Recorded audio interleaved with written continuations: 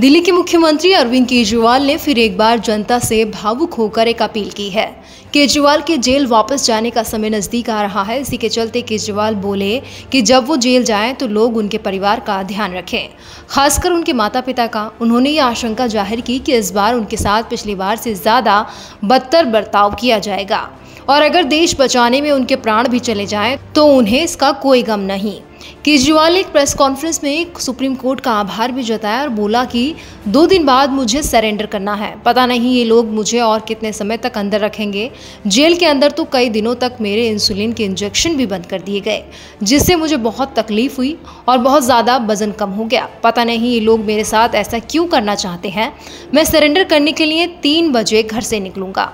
केजरीवाल बोले कि इस बार मुझे ज़्यादा परेशान किया जा सकता है, लेकिन मैंने अपने दिल्ली के लोगों को भरोसा दिया है कि उनका कोई कामकाज नहीं रुकेगा। आप अपना ख्याल रखना, मुझे जेल में आपकी चिंता रहेगी। तो आप खुश रहेंगे तो आपका केजरीवाल भी खुश रहेगा। और आपके सारे काम चलते रहेंगे, मैं चाहे कहीं भी रहूँ, लेकिन दिल्ली के काम नहीं रुकेंगे। आपकी फ्री बिजली, मोहल्ला क्लिनिक, फ्री दवा, फ्री बस यात्रा, सभी काम चलते रहेंगे। मैं लौटते ही सभी माता बहनों को एक हज़ार रुपये देने की शुरुआत करूँगा। केजरीवाल आगे बोले कि आज मैं अपने परिवार के लिए कुछ मांगना चाहता हूँ। मेरे माता पिता बहुत बूढ़े हैं, साथ ही मेरी माँ बहुत ही बीमार हैं। मुझे हमेशा उनकी चिंता लगी रहती है तो आप उन लोगों के लिए भगवान से दुआ करना। दुआओं में बहुत ताकत होती है और मुझे भरोसा है कि उससे मेरी माँ ज़रूर स्वास्थ्य होगी। मेरी पत्नी बहुत ही मज़बूत है और मेरी ज़िंदगी की हर मुश्किल में उन्होंने मेरा साथ दिया है। जब कोई भी मुश्किल का समय आता है तो मेरा पूरा परिवार एकजुट हो जाता है। आप सभी ने मुश्किल में मेरा परिवार की तरह साथ दिया है। अभी हम सब मिलकर तानाशाही के खिलाफ लड़ रहे हैं। आप सभी की प्रार्थनाओं की वजह से मैं ज़िंदा हूँ और आपका आशीर्वाद मेरी रक्षा कर रहा है। आखिर में आपसे यही कहूँगा कि भगवान ने चाहा तो आपका ये बेटा जल्द वापस आएगा। आइए अब आपको अरविंद केजरीवाल ने और क्या कुछ कहा प्रेस कॉन्फ्रेंस के दौरान आपको सुनाते हैं। नमस्कार। माननीय सुप्रीम कोर्ट ने मुझे चुनाव प्रचार करने के लिए 21 दिन की मोहलत दी थी। कल 21 दिन पूरे हो रहे हैं।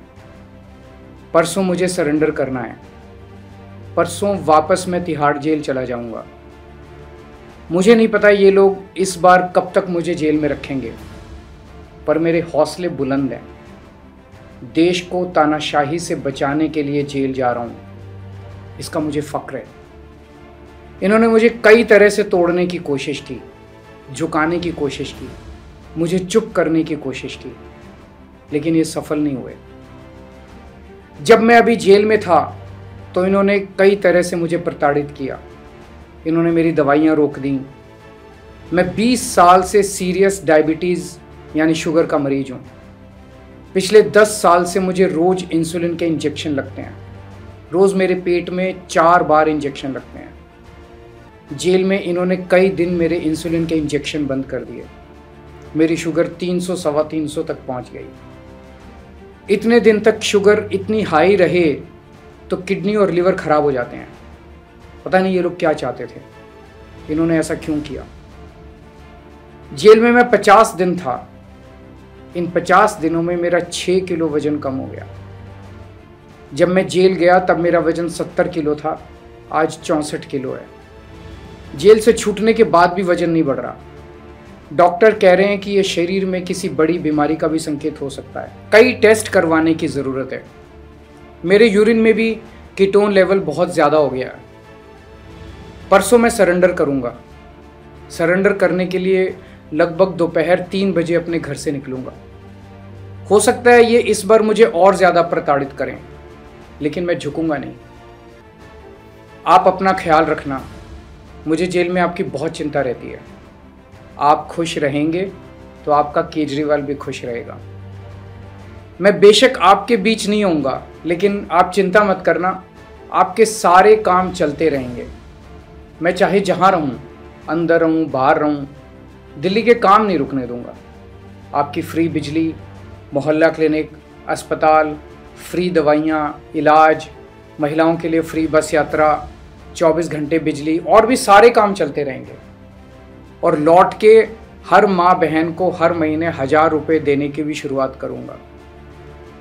मैंने हमेशा आपके परिवार का बेटा बन के अपना फ़र्ज़ निभाया है।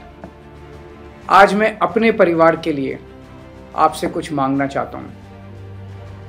मेरे माता पिता बहुत बुज़ुर्ग हैं। मेरी माँ बहुत बीमार रहती हैं। मुझे जेल में उनकी बहुत चिंता रहती है।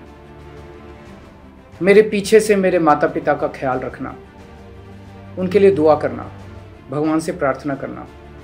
दुआ में बड़ी ताकत होती है। आप मेरी माँ के लिए रोज़ प्रार्थना करेंगे तो वो ज़रूर स्वस्थ रहेंगी। मेरी पत्नी सुनीता बहुत मज़बूत हैं। उन्होंने ज़िंदगी के हर मुश्किल वक्त में मेरा साथ दिया है। जब मुश्किल वक्त आता है तो पूरा परिवार एकजुट हो जाता है। आप सबने मुश्किल वक्त में मेरा बहुत साथ दिया है। हम सब मिलके तानाशाही से लड़ रहे हैं।